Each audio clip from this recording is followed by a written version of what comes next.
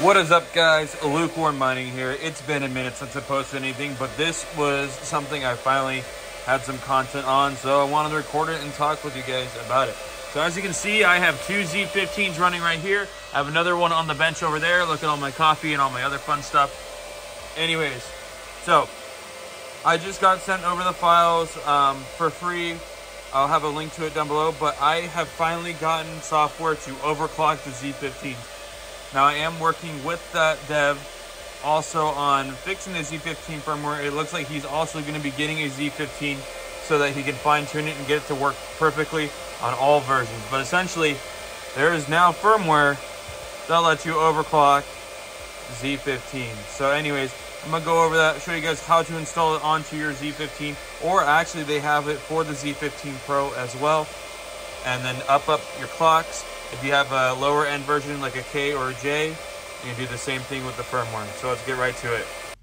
So once you have your SD card plugged into your computer, you can head over to chiplessmods.com slash getting started. That is the creator of this firmware and go ahead and download the firmware. As you can see, he has all kinds of other firmware here. I know for a fact he's also picking up another Z15 for himself because he sold his last one a long time ago. So he's going to do a more up-to-date version that will be updated on the website. I'm currently working with him right now to get a dev fee version working, so you don't need to reach out to him directly to buy it. But as of right now, there is not a dev fee version that works correctly on the Z15. So he has given me a version that does not have the dev fee, and instead he's just going to charge a one-time fee for it. Uh, that will change in the future from what it sounds like. Uh, he also has firmware available for the Z15. So what you can go ahead and do if you want to try it out, maybe I was just having issues with it, you can download the Z15 SD card flash right here. We'll do that right now. Download it real quick. And then what we're going to go ahead and do is go over to the uh, firmware package. See right here, I have mine downloaded from Telegram because I got it from him directly. And what I will go ahead and do is you would extract this and send it to your SD card. So there's only a couple tools that you will need and hardware that you will need in order to put the firmware on the Z15 or honestly any Antminer device. So what you'll need is an 8 or 16 gigabyte SD card. Reason being is that the miner will not work and will not read anything larger than 16 gigs. I find that the 8 gig reads super fast, flashes almost instantly on most Antminer versions. So might as well just grab one of these. Unfortunately, these cost just as much as 32 and 64 gig uh, SD cards, they don't really make a ton of these anymore. So grab a couple of them, put all kinds of different firmware on them, and just keep them around. The other thing you'll need is an adapter. If you don't have a laptop that can take a micro SD card, grab an adapter. This one's a Type C. My laptop, for some reason, does not have an SD card reader, so I had to go and pick one up. But all you do is plug this in and flash the firmware. Next thing you're gonna do is take that SD card with your firmware on it, go ahead and slide it into the front right there. Make sure it's the SD formatted one, not the web UI one. Slide it in there. Go ahead and turn on your miner. So I have mine on the parallel miner breakout board right here. This is just a board that I'm testing, but just showing how to flash the firmware on it. And then what you'll see happen is these lights will turn off on this one. For some reason, it's ramping up right now. Not exactly sure why. You see the lights turn off. After about 30 seconds a minute, the lights will start flashing. Then honestly, I let it go for another 15 seconds after the lights have stopped flashing. 30 seconds maybe after the lights stop flashing. Remove the SD card, turn off the miner, turn it back on, and the firmware will be installed. As you can see, actually went a lot faster than normal. See how it's flashing?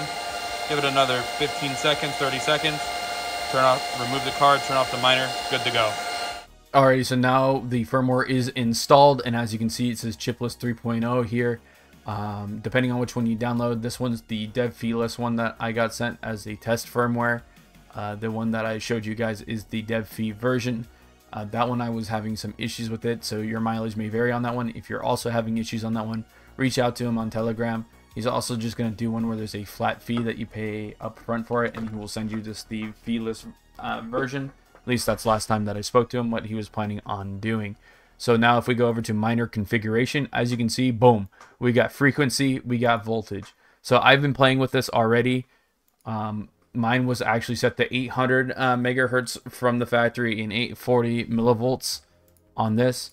I've actually successfully earlier gotten this thing up to uh, the full 820, um, and then I think it was at like 900 millivolts. So I've been working my way down, uh, and I was getting over 468. The highest that I saw was 480k sols. So if we look at it right now, this thing's making 1871 or 1817 a day right now. As we're at the, oop, we're already going up again.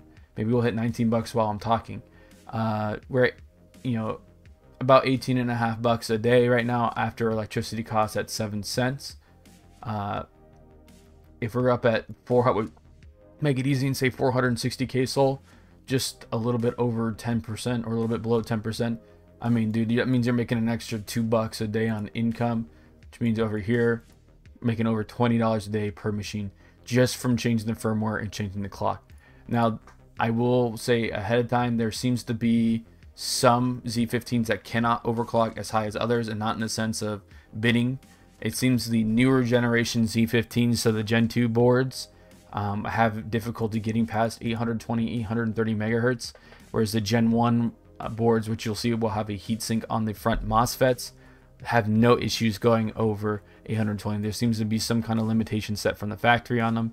Uh, Chipless is going to be getting a Z15 in so that he can actually physically have one in place and test all the things and make sure all the firmware is working 100% as he wants and may be able to bypass this auto tune target of 820 830 on the gen 2 boards and get it somewhere to where the gen 1 boards are at where it's the 900 um, because then you could get this thing over 500 i've seen over 500 k sol on these with the firmware. So anyways oh you can see this board's going crazy right now 880 um, even even with the clock not working properly, I think it's just not displaying properly. We're still getting 440 um, KSOL, so that's already still a 5% increase alone off of it. I think this just comes from the stability of setting the clocks and not having a weird clock issue with the PIC. So if you have any questions, feel free to hit me up down below. Hit me up on Discord or over in the Chipless uh, Telegram chat. Uh, let me know what you guys get for clock frequencies. Let me know if you can send your things to uh, I want to see someone do over 500, 550 out of these things. Maybe some exotic cooling or big ducted fans on it.